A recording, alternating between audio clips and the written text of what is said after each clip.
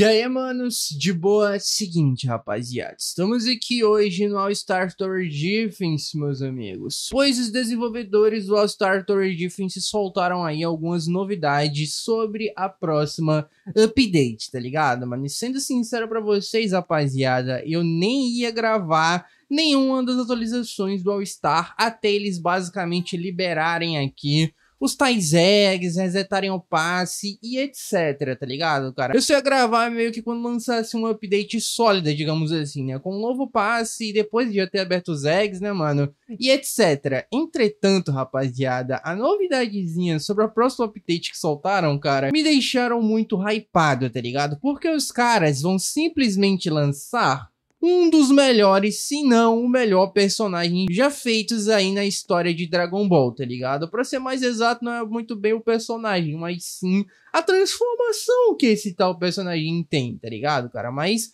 enfim, rapaziada, hoje estamos aqui para podermos ver todas essas novidades sobre a próxima update, tá? Porque não, não tem só essa tal novidade que eu tô falando sobre essa tal Unity, tá? A gente tem algumas outras novidades, né? Algumas outras informações aí que eu quero estar tá passando aqui para vocês sobre a próxima update do All-Star, tá ligado? Então, antes de tudo, rapaziada, já deixa o like, se inscreve no canal também para dar aquela moral e agora sim...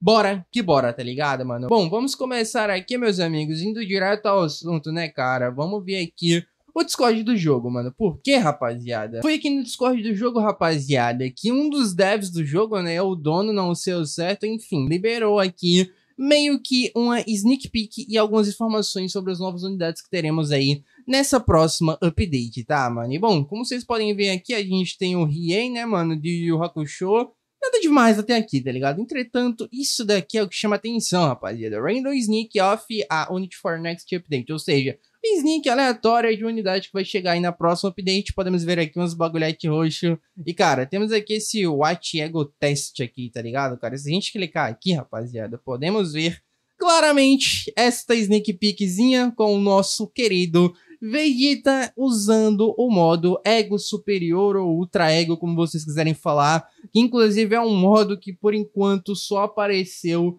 no mangá de Dragon Ball Super, tá ligado? Ou seja, pra quem só acompanha o anime nem sabia que isso aqui existia, né, mano? Mas, beleza, né, cara? Mano, eu quero ver isso aqui de novo, tá ligado? Se liga só. Mano, isso daqui tá muito, muito foda, tá ligado? Uma parada que me deixou preocupado é o seguinte, tá? A gente tem aí esse tal Ultra Ego, rapaziada, muito provavelmente vai ser 7 estrelas, muito provavelmente não. Na verdade, é certeza que vai ser 7 estrelas. Entretanto, não sei se vocês sabem, mas há um bom tempo atrás lançaram aí meio que um Vegeta 7 estrelas já, né? A gente já tem um Vegeta 7 estrelas, que no caso é o Vegeta 7 estrelas Blue Evolved, né? Que é aquela versão dele, basicamente Blue, um pouco mais forte que o Blue normal, digamos assim, né, cara? Um estágio 2 dublou, tá ligado? Então eu não sei o que é que vão fazer com esse tal Vegeta Traego, né? Porque a gente já tem um 7 estrelas e eles vão tacar outros 7 estrelas que vai ser o Vegeta Traego, tá ligado? Tem gente falando que talvez sejam 8 estrelas, mas sinceramente, não vai ser, tá ligado? Não vai ser. Eu posso cravar aqui que esse Vegeta não vai ser 8 estrelas, né? Vai ser realmente aí um 7 estrelas e muito provavelmente vai ser um personagemzinho 7 estrelas, rapaziada. Aí envolve do outro 7 estrelas, igual a gente tem aí alguns personagens no jogo que, tipo, a evolução não muda em si o número de estrelas, mas muda apenas a sua força. Eu não sei exatamente quais são os personagens que a gente tem assim, mas eu tô ligado que tem pelo menos, sei lá, uns dois ou três personagens assim no jogo, né, mano? Mas beleza, então, né? Temos aqui, então, o nosso querido Vegeta Ultra Ego confirmado aí para a próxima update, tá? Inclusive, é por conta desse Vegeta aqui que eu vou gravar essa tal update, porque se não fosse isso, como eu falei pra vocês, eu só ia gravar o All-Star quando resetassem o passe e abrissem logo aqueles eggs de Páscoa, que já foram adicionados há muito tempo e até agora nada, né, mano? Então é complicado, né, mano? Porque eu sempre gosto de gravar todos os updates dos jogos por completo, tá ligado? Tipo, todos os personagens, cara. E eu meio que não peguei todos os eggs, né, do tal evento que teve e também não completei o passe ainda, tá ligado? Ligado, cara? Então, quando o jogo atualizar, rapaziada, e talvez abrirem esses eggs ou sei lá o que, eu só vou fingir que eles não existem, tá ligado? Porque os caras adicionam um bagulho, sei lá, hoje, e os caras só vão fazer com que essa parada funcione daqui a uns três meses. Então é complicado, né, mano? Então eu só fingir que não existe e vou gravar o que vier de fato de novo, tá ligado? Mas beleza então, né? Continuando aqui falando sobre as novidades da próxima update, rapaziada. Temos aqui essa mensagenzinha do Nave, né, mano? Que ele mandou aqui que basicamente teremos outros sete estrelas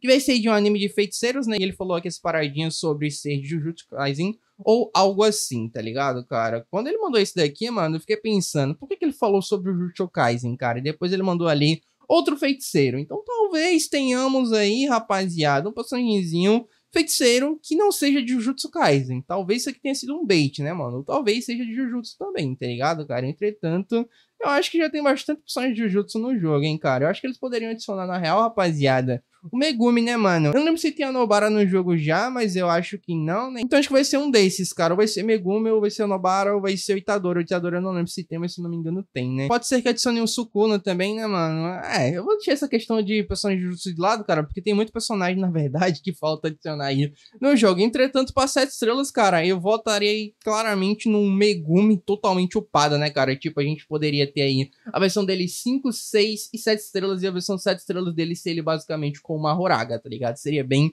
insano e talvez seja realmente isso que vão adicionar, né, cara? No caso, vai ter aí o Vegeta, 7 estrelas, né? Ultra Ego, daí a gente vai ter esse tal Megumi que eu tô falando pra vocês. E também, pelo que eu tô vendo aqui, né? Vou arrumar o Meruem, né? Tero, Gohan, o Bojack e a Spider aqui, né? Que no caso seria aquela menazinha de Hunter x Hunter, né, cara? Na próxima update, isso daqui, sinceramente, não me interessa, porque como eu falei pra vocês, eu não peguei essas unidades de passe, eu, sinceramente, também não quero pegar, só vou fingir que elas não existem, tá ligado? Então, continuando aqui, temos o nosso querido Riei, que eu já tinha falado para vocês, né, no comecinho aqui, que vai ser aqui, pelo que eu entendi, uma unidade evolutiva para as estrelas, e é basicamente isso, tá, cara? O Riei, rapaziada, pra quem não tá ligado, tem uns poderes bem sinistros, tá, mano? Inclusive, ele tem, se eu não me engano, uma chama negra lá, então muito provavelmente ele deva vir aí como um 7 estrelas com Black Flames, tá ligado? Muito provavelmente vai ser o primeiro 7 estrelas... Não, na verdade vai ser o segundo 7 estrelas que a gente vai ter aí, que tem bagulho de Black Flames, né? Porque recentemente adicionaram aí, se eu não me engano, Black Flames no Ichigo, né, cara? Então, muito provavelmente, quando o rei for adicionado aí no jogo, ele vai ser meta aí pra Black Flames, digamos assim, tá ligado? Inclusive, falaram aqui que a atualização vai vir no próximo final de semana, tá ligado? Ou seja, de sexta a segunda, digamos assim, tá ligado? Inclusive, falaram aqui também que vai ter trailer desse update, entretanto, os caras sempre liberam um trailer faltando, sei lá, 10 minutos pra entrar em manutenção, né, mano? Então,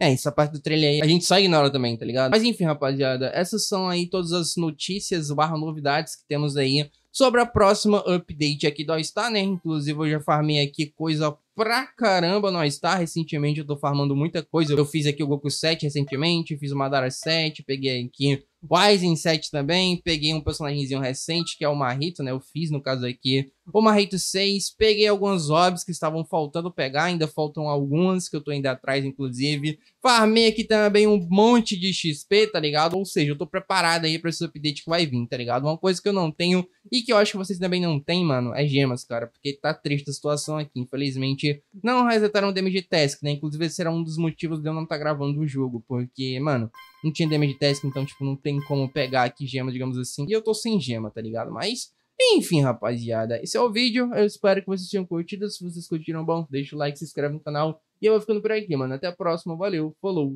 e